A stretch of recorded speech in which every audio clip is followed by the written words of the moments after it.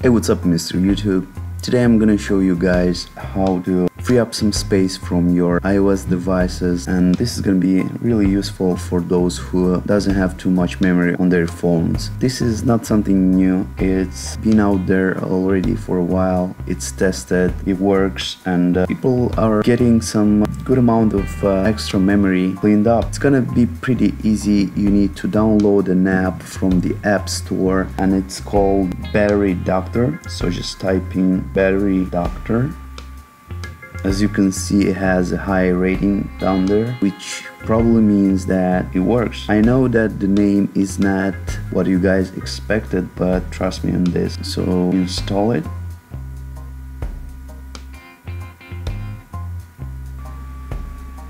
Click on open.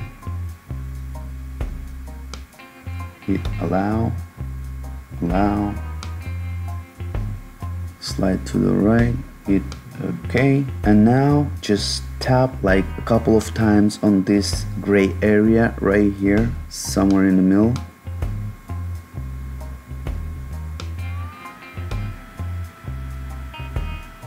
And as you can see there's a movement down there. Now double click on the home button and kill the app. Go ahead and open it up again. And as you can see down there appears this junk button right there. This is exactly what we need. So before getting to the action let's go and take a look how much storage I have journal about. So right now I have available 134.3 gigabytes. Now I'm gonna go back to the app hit on junk and uh, what this does it's gonna clean up all the junk files that remained from deleted apps and uh, stuff like that. So don't worry it's not gonna affect any files or photos that you actually need. So hit on clean up check clean. Wait for it to work